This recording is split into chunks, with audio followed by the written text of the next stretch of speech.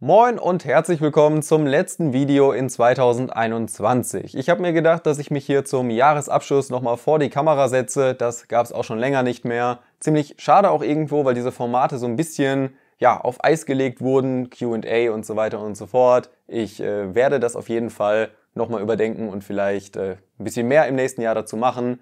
Aber es ist auch irgendwie gerade einfach eine komische Zeit, so allgemein, Corona und so weiter aber auch so äh, bei mir wegen Hausbau und allem, was so ansteht. Da sind wir ja gerade so ein bisschen in der finalen Phase, nenne ich es jetzt einfach mal. Also ich denke mal, es dauert noch so zwei Monate, zweieinhalb Monate um den Dreh.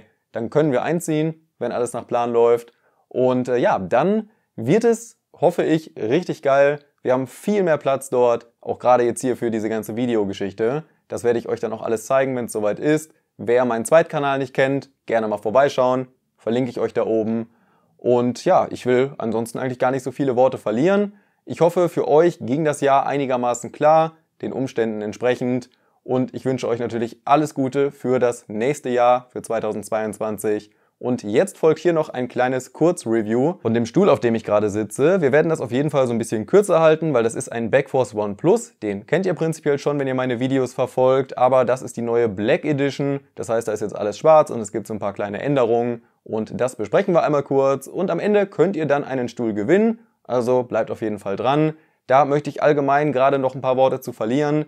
Dieses Gewinnspiel sollte schon zu einem Advent stattfinden. Ich glaube, äh, der dritte Advent war da geplant. Und auch mein Weihnachtsgewinnspiel musste leider ausfallen. Da war wie immer geplant, dass ein Gaming-PC verlost wird. Und ja, das wurde nicht nur geplant, sondern die Teile wurden natürlich auch bestellt. Das meiste ist auch da, aber leider nicht alles. Das muss entsprechend auch ein bisschen verschoben werden in den Januar rein, aber da könnt ihr euch schon mal drauf freuen. Es wird also im Januar einen geilen Gaming-PC zu gewinnen geben. Ist auch ein wirklich cooles Teil, wie ich finde. Das äh, ja, seht ihr dann aber. Und abschließend sage ich dann natürlich noch guten Rutsch, kommt gut ins neue Jahr. Und jetzt kommt der Backforce OnePlus in der Black Edition. Haut rein, Leute. Ciao.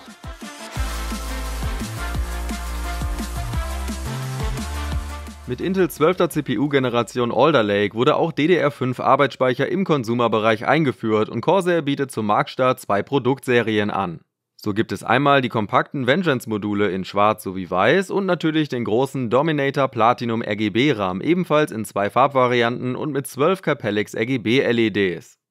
Es stehen 32 und 64 GB Kits mit 4800 MHz CL34 oder wahlweise 5200 MHz bei CL38 zur Verfügung. Zeitnah folgen schnellere Varianten auf Hynix-Basis mit 5600 MHz C36 und mehr. Alle Corsair DDR5 Kits unterstützen XMP 3.0 und bieten somit nicht nur vorgefertigte Profile, mit denen ihr direkt die richtigen Einstellungen laden könnt, sondern auch noch Platz für eigene Profile mit angepassten Settings, die komfortabel per Corsair IQ erstellt und bearbeitet werden können. Weitere Infos findet ihr über den Link in der Videobeschreibung, schaut auf jeden Fall mal rein. Im Gegensatz zu den farbigen Varianten, deren Bezug aus einer Kombination von Kunstleder und einem Alcantara-ähnlichen Material besteht, setzt Backforce bei der Black Edition vollständig auf Stoff. Der fühlt sich super angenehm an und ist natürlich gewohnt gut verarbeitet. Rein optisch weiß ich gar nicht so genau, was mir besser gefällt. Sowohl der komplett schwarze Stoff als auch das Alcantara mit den kleinen Flächen in jeweiliger Akzentfarbe haben auf jeden Fall etwas für sich. Schwierige Entscheidung, muss ich sagen. Richtig gut gefällt mir das schwarze Metallfußkreuz. Das würde ich mir jederzeit auch an meinen blauen OnePlus bauen. Allgemein wäre eine Art Konfigurator extrem cool, sodass man sich seinen Wunschstuhl im Detail zusammenstellen könnte. Sicherlich nicht ganz unaufwendig für den Hersteller, aber ich werde das dort mal ansprechen. Apropos ansprechen, ich habe nach dem letzten Test bei Backforce ein paar kleine Kritikpunkte geäußert und tatsächlich wurden die nicht nur hier bei diesem Stuhl, sondern inzwischen bei allen OnePlus-Varianten verbessert.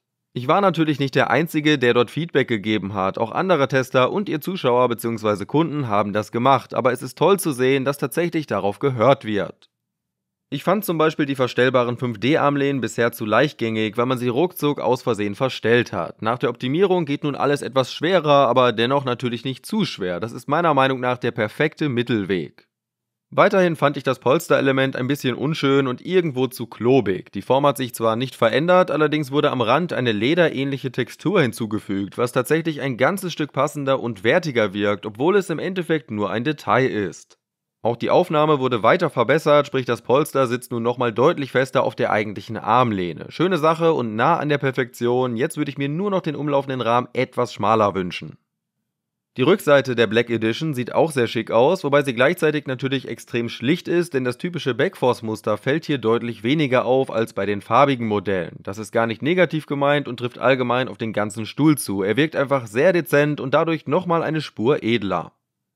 Ansonsten bietet das Teil natürlich alle bisher bekannten Features. Im Falle des OnePlus also eine verstellbare Sitzfläche, die sich dazu noch in zwei Stufen neigen lässt, eine Lordosenstütze, die sich in Stärke und Höhe anpassen lässt, die eben erwähnten 5D-Armlehnen, die Synchronmechanik beim Zurücklehnen und so weiter. Für Details verlinke ich euch mein ausführliches Review oben beim kleinen i.